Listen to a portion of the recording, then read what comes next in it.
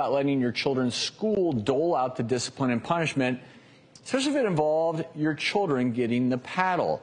A Texas school district just approved a new policy allowing corporal punishment for students that misbehave.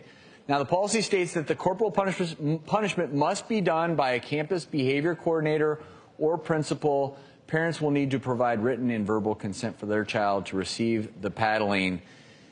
You know, th this is I guess there are 15 states. Texas is one of them that allow corporal punishment.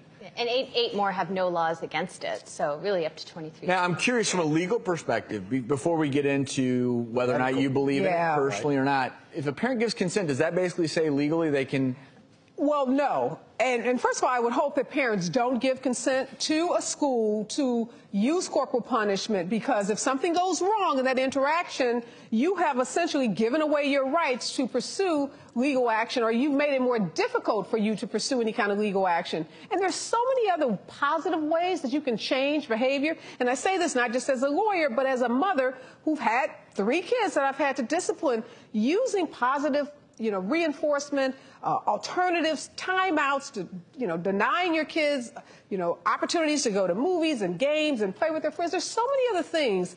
And there are no studies, however, that show a positive correlation between spanking and positive behavior. For sure. American uh, Society of, of Pediatricians has a clear position on that, that they don't believe in spanking. And my guess is, I don't know, the, the, the parents that are giving their consent were probably spanked as kids well, so too. I was going to and you say that. and you perpetuate that vicious cycle. If you cycle. are spanked as a child, you're statistically much more likely to spank your own children. And like you said, there's so many negative impacts down the line in terms of aggressiveness, violent behavior, mental problems. But I was but, astounded but, for this story because the number is 160,000 kids per year receive corporal punishment in the U.S. in in public schools. So that's not even including private schools, parochial schools, where other forms of discipline Where the nuns are whacking you. Yeah, no, but so I'm going to say a large number when you think yeah. about how violent our society has mm-hmm. become. And as a mom, I completely sympathize with you because kids don't listen. Sometimes. But just, and just to throw out it, why I think that this does happen and why parents want this having a paddle present doesn't always imply violence. I grew up with a paddle in the house. It was different, and I got to tell you, it was a heck of a deterrent for me because I was a, a hellion as a, as a little kid. And some of the things I did, I'm ashamed of. And I feel bad that I put my parents through that. I really do.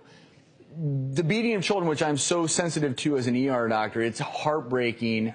If someone knows how to parent, they do it the right way and they never invoke violence. And, and I don't ever jump to the conclusion that, okay, well, if a parent signs off on this, that they're a bad parent. No, does, no, they're not bad parents. Have to, we have to acknowledge that people are going to raise their kids differently. Violence never works. I will say as parents, we all use threat sometimes with our children.